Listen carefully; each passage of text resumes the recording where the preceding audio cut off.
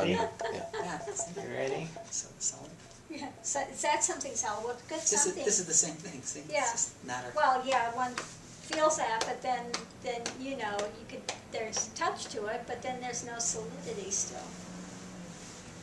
So, what else would you like to talk about? Any suggestions from the audience? Any questions from the audience? Our big audience of two. I think you should Uh, tape. well, you, you mentioned, The, my, my, my big guy there, yeah, the, the, one of the sadhakas in the audience, if you can, that's, that's it. He's not saying much. Yeah, if you can, you can't see his eyes usually. Yeah, no, he's, he's pretty dark. You can't see him under there. My little chocolate boy. Hey, Raj, look this way. And now you can see him. We got a good shot of him. So he's in the audience too, but he's not asking any questions. No, he's just taking it all in. He's smart. Uh, you mentioned sexual desires with the enlightened, so maybe you know that was interesting because it seems like uh, even not being enlightened here, there's sexual desires are have gone away. So it would be hard to picture how that would remain after enlightenment. The same way that physical hunger remains, exactly the same way. No difference.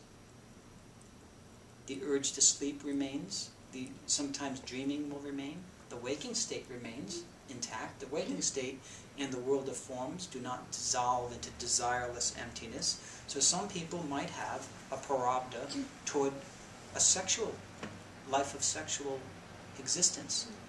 Others And, might and go into deep away. celibacy. It Yeah, might go, it, there's no way to predict or even expect such a thing. And some fall away. The most important thing is that That's you, you're not playing games anymore. No, It's not no. because you think you don't want to be celibate so that you look good and can say it. You know, if you're celibate, it's just who you are at that point. And certainly, the only reason we have to even give an answer like this is because we have been browbeaten with the notion that sex is dirty, so that now I have to now give an explanation as to why it's permissible after enlightenment. So the assumptions that are underlying relative existence are what I call voodoo, religious mm-hmm. voodoo, and cheap philosophical kind of understandings that are not gratuitous, they are not open-hearted toward all of human experience. Certainly, if this body-mind is, and it does come equipped with sexual desire and function, there can be no fault in it from the very beginning. In fact, I don't know how else I could have gotten here.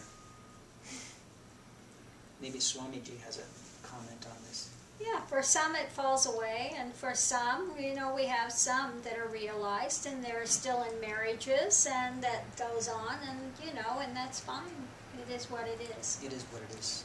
You know, for on on this path we have two ways of going. There are the ones that are celibate, and there are the ones that are not. And uh, I give two di- different um, practices for those that are celibate versus those that are not. That's all. But yeah, And that's it's common in it's ashram personal personal teachings. choice. Yes. Personal choice. That's all. And what's right, I, someone came to me last week and they said that sex is really a liability for them. So I said, you know, if you're having that perception, maybe sex can destroy a life like yours. Mhm. So back off. Yeah. So th- so don't do it. Don't do it. And other people will get destroyed if they don't have sex. They get consumed with fantasy, endless fantasizing, and being drawn into their subjectivity through the resistance of that. So just find a damn relationship and enjoy it. Don't make a big fuss about it.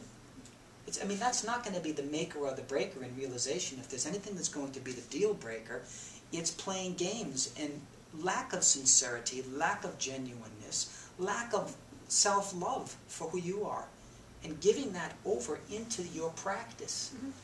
If practice is necessary, there may be some people for whom practice is not necessary. I don't presume to know who might be beneficial of practices. I always put the burden on the student and say, look, it's your life. Mm-hmm. I'll facilitate, I will help, I'll be there, I'll sit in this with you. But please, you make your decisions and live through their consequences. That way you learn. Well, exactly. Everyone has to live through the consequences of their actions.